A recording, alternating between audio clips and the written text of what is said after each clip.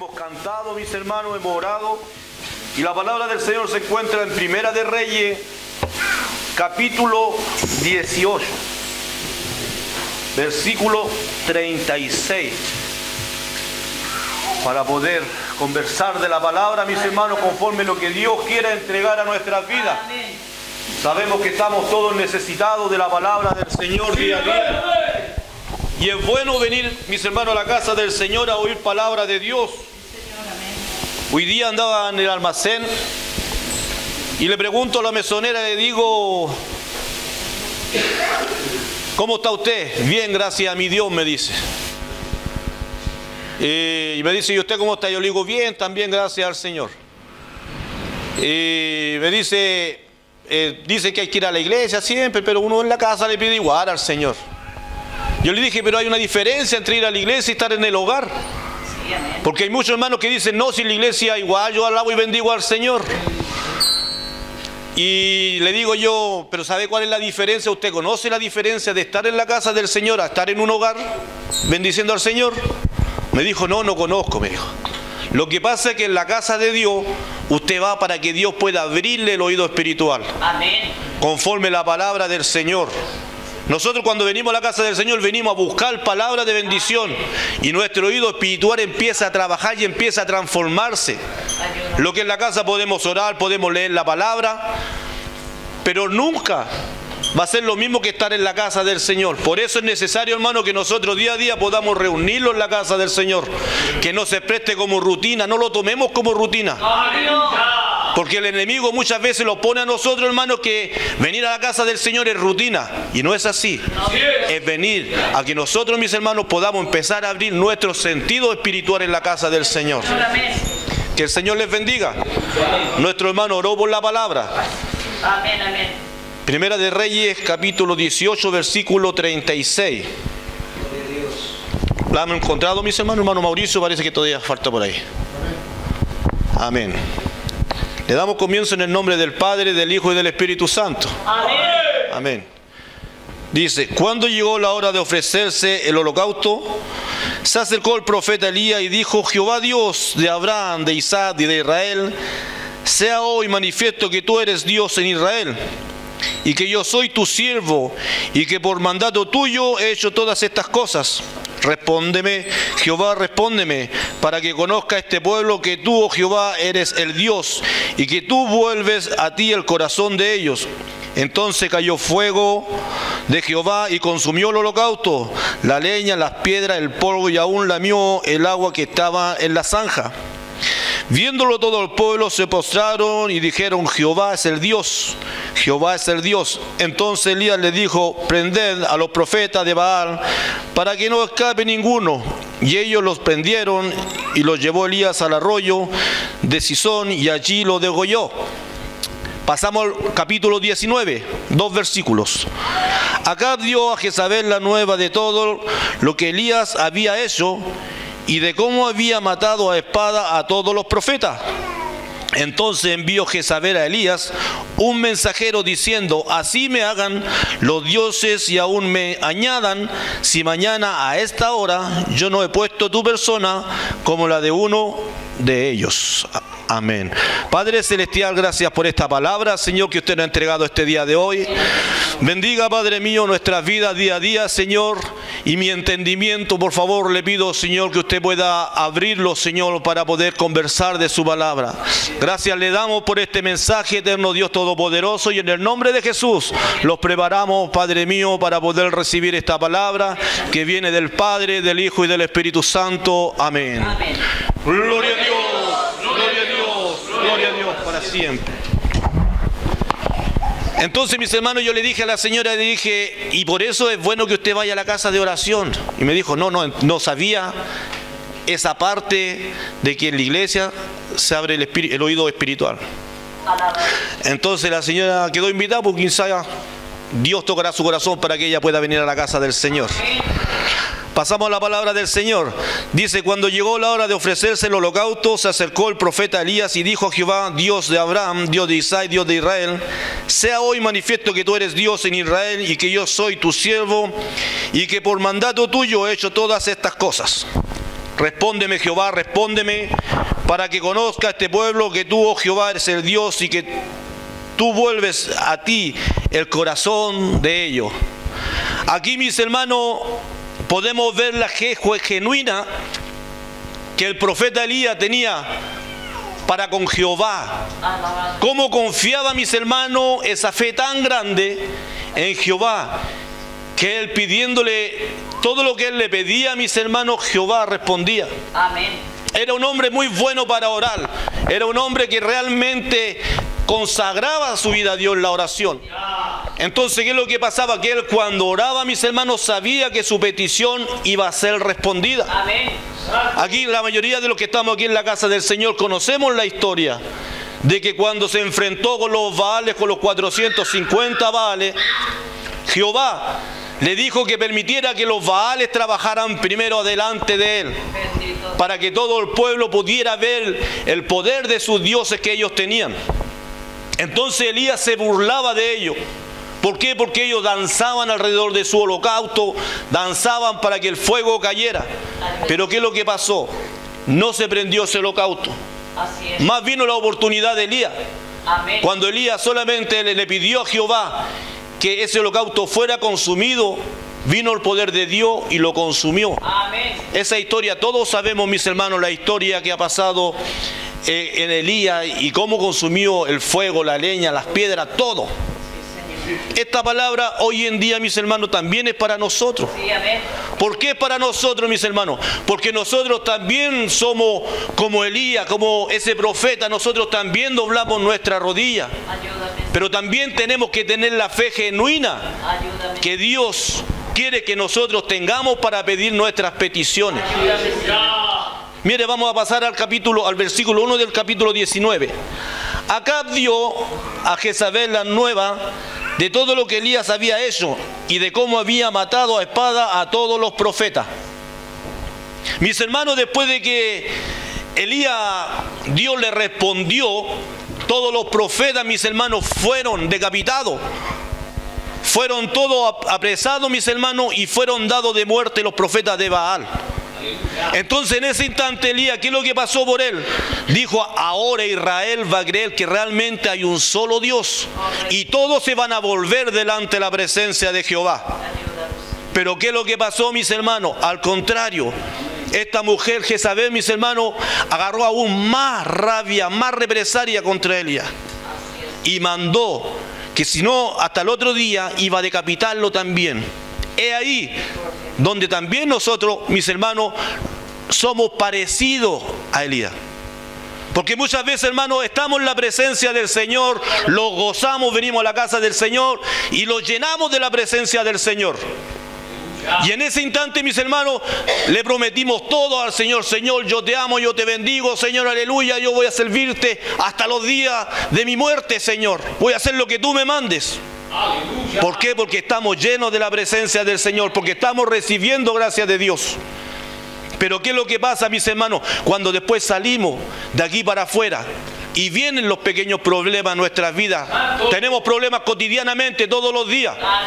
Que en el trabajo, que con los vecinos, que cualquier problema se los presenta. Y viene ahí la decadencia de la fe. Se nos baja la fe espiritual, mis hermanos, que tenemos que tener.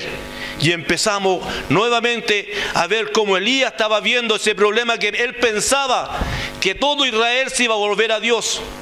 Pero no fue así. La mayoría, mis hermanos, le agarraron rabia y querían matarlo. Y ahí a donde vino Elías.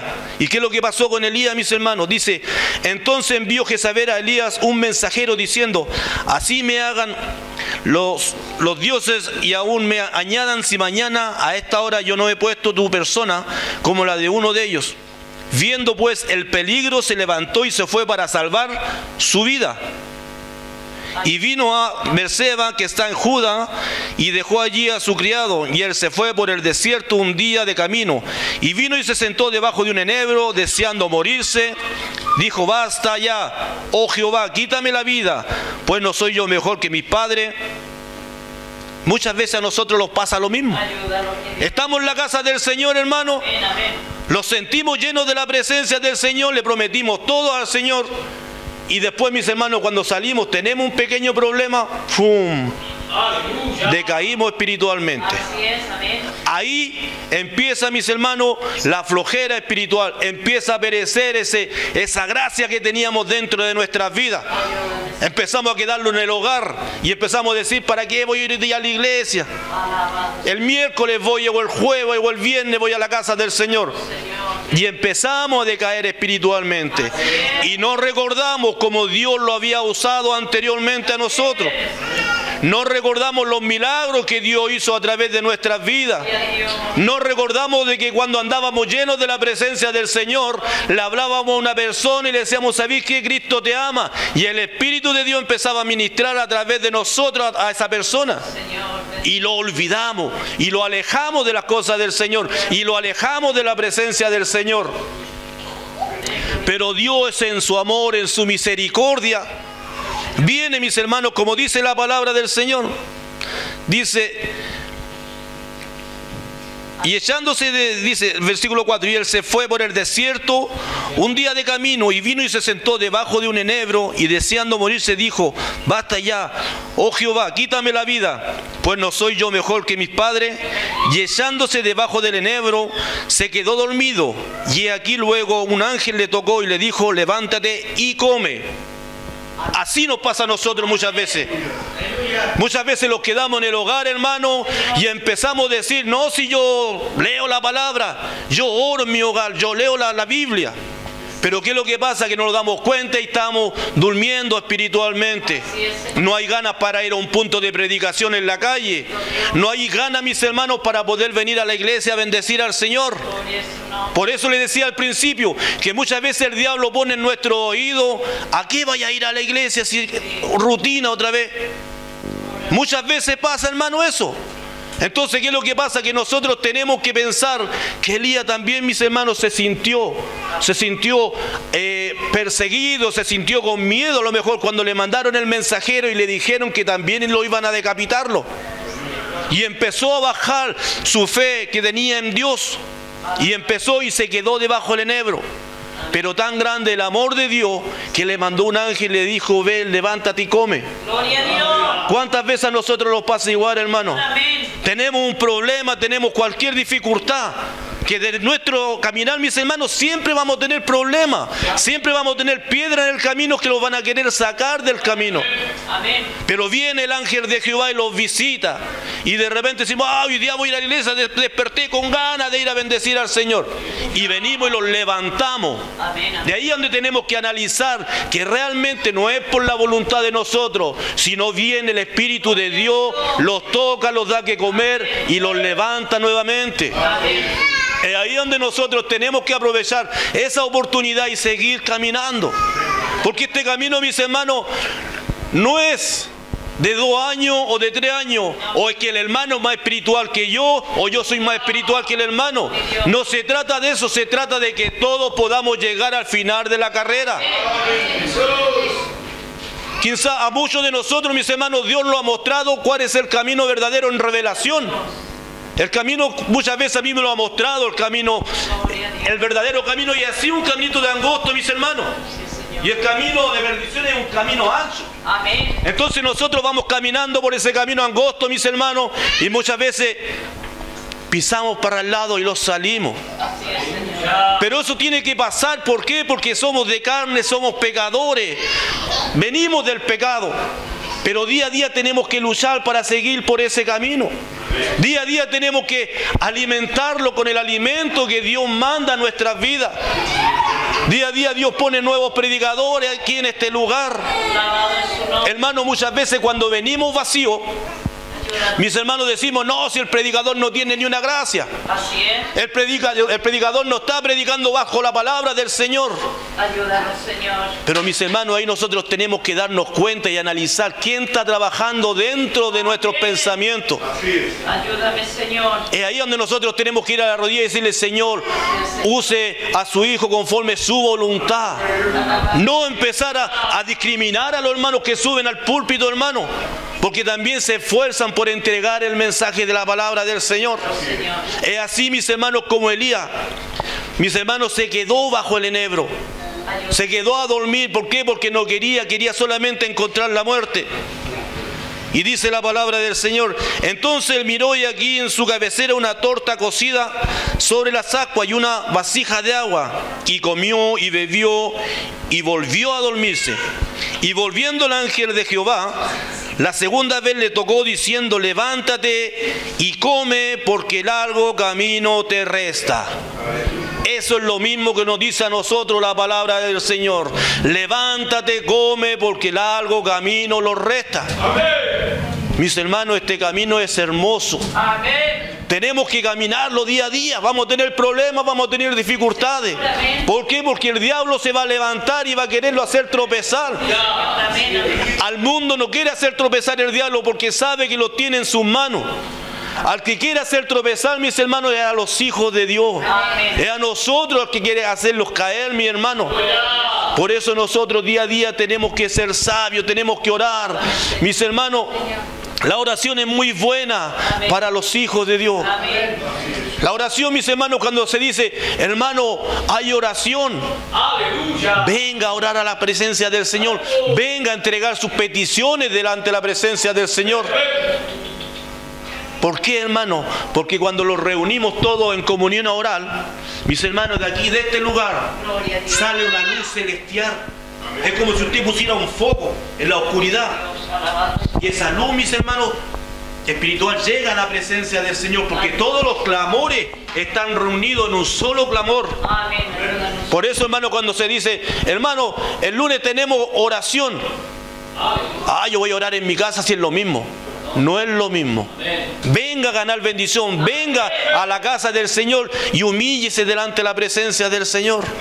Y así usted orará por mí, yo oraré por usted y todos oraremos en una comunión y en un clamor. Entonces, ¿qué es lo que pasó con Elías, mis hermanos? Elías se levantó, comió la torta que el ángel le llevaba. Y cuando comió, le dijo que tenía que caminar porque largo camino le esperaba. Entonces él caminó, mis hermanos, 40 días. Dice, se levantó pues y comió y bebió y fortaleció con aquella comida. Caminó 40 días y 40 noches hasta llegar Oreb, el monte de Dios. Caminó 40 días con ese alimento que Dios le entregó. Mis hermanos, cuando usted se llena en la presencia del Señor, viene a la casa del Señor, come un buen alimento espiritual. ¿Cuántos días le dura ese alimento en su vida? ¿Ah? o lo perdimos al tiro, o llegamos al hogar y, boom, lo devolvimos y lo, lo, expulsamos de nuestra vida. Hermano, cuando comamos un alimento espiritual, hay que procurar que ese alimento no lo devolvamos nosotros. ¿Cómo se pierde? Que uno viene, se goza en la presencia del Señor, llega a la casa, pum, prende la televisión y se perdió ese alimento.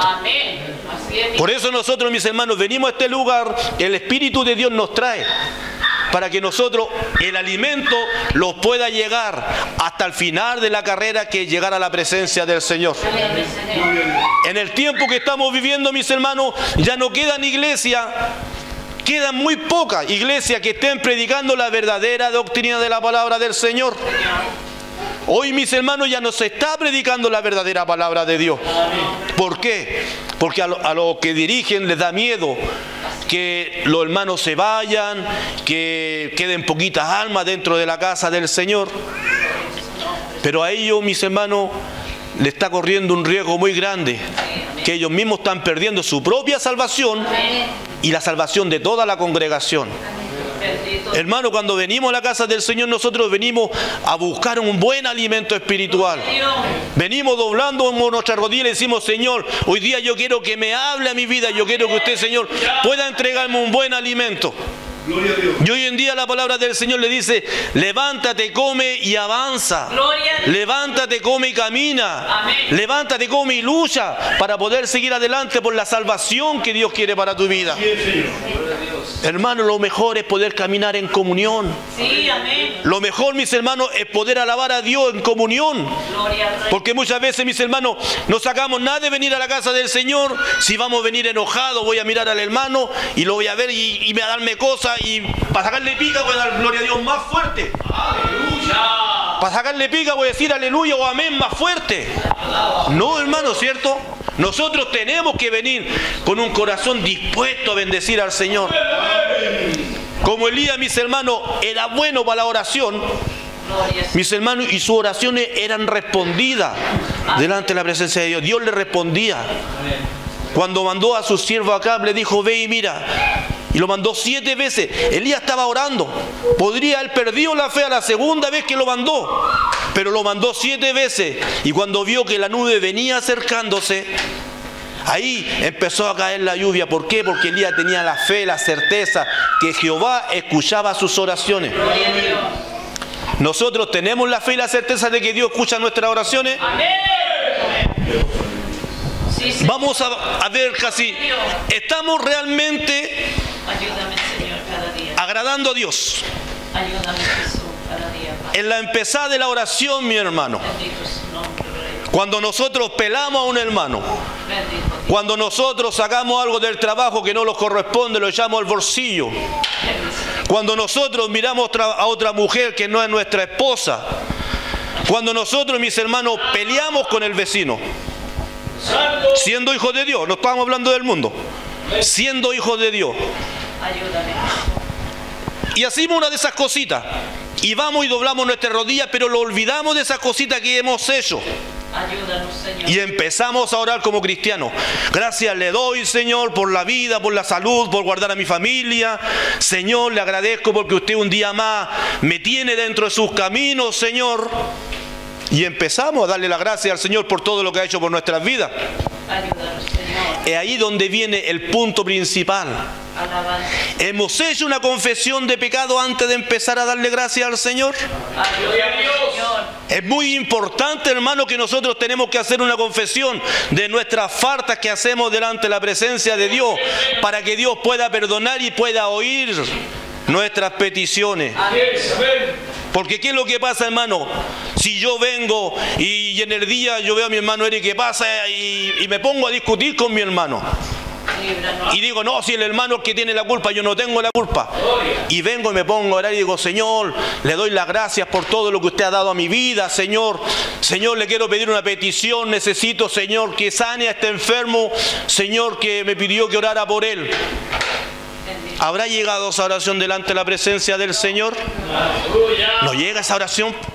¿Por qué? Porque yo primero que nada, para que pueda entrar una oración mía, yo tengo que reconocerme pecador delante de la presencia del Señor.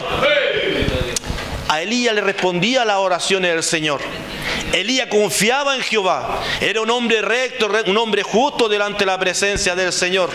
Eso es lo que Dios quiere de nosotros. Que nosotros cada vez que queremos una petición, mi hermano, porque muchas veces no tenemos respuesta de las peticiones que hacemos al Señor. Le decimos, pastor, ore por esta petición. Eh, hermanos, pueden orar por esta petición y nos llega respuesta de parte del Señor. Es porque nosotros tenemos que analizar nuestras vidas, reconocerlo delante de la presencia del Señor, pedir perdón por todas nuestras faltas. Y no se trata de cinco minutos, no. Se trata de una oración con humillación, una, humillación, una oración, mis hermanos, que sea con cripto delante de la presencia del Señor. Y cuando nosotros sintamos que Dios está tocando nuestro corazón, es porque ahí recién está empezando Dios a oír y agradarse de la oración que estamos haciendo. Es ahí donde nosotros recién viene la petición delante de la presencia del Señor. Pero muchos hermanos, mis hermanos, oran sin saber orar. Oran mis hermanos y piden peticiones y no son respondidas y dicen, Señor, ¿por qué no me has respondido la petición? Señor, ¿por qué no me respondí, Señor, a mí si yo llevo tanto tiempo pidiéndote, Señor amado, que me respondáis esta petición? Pero estoy amarrado con mi hermano. O saqué algo de la empresa. Ayúdanos, Señor. O en el día no soy el verdadero cristiano que Dios quiere que sea. Alabado. O a lo mejor trabajo fuera de Padre Hurtado y para allá no me conocen nadie y allá voy vestido como un mundano. Allá voy y empiezo a mirar a la chiquilla o le tiro el churro a la chiquilla. Hermanos, si somos, somos carne y somos pecadores. Pero ¿qué es lo que pasa? Que Dios quiere que nosotros lo esforcemos para no pecar y no caer en las tentaciones.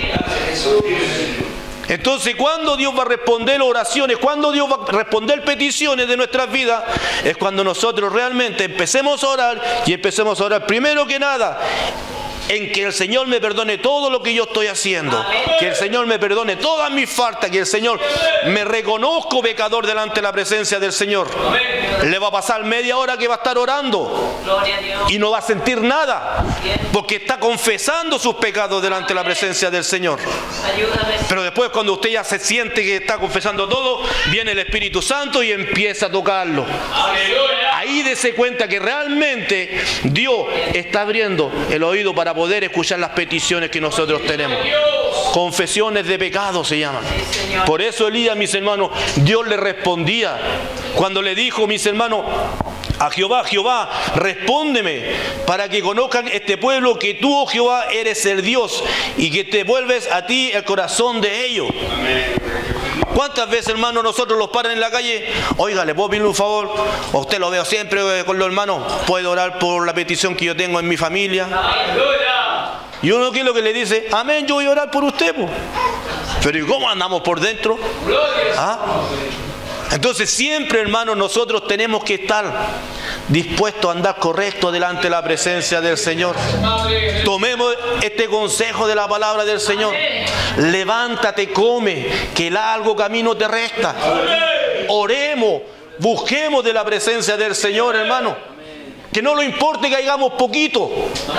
Que lo importe, hermano, que realmente el Espíritu Santo, cuando empieza a hablar a nuestras vidas, empieza a tocar nuestro interior, empieza a tocar nuestras vidas.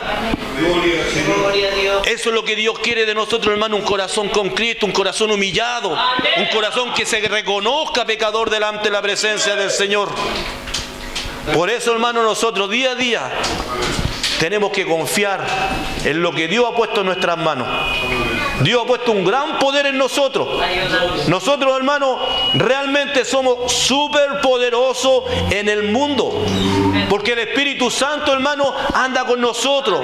Y nosotros, mis hermanos, donde pongamos las manos, hay bendición. Donde pongamos las manos, los enfermos son sanados. Donde pongamos las manos, esa alma se puede convertirse para la gloria del Señor.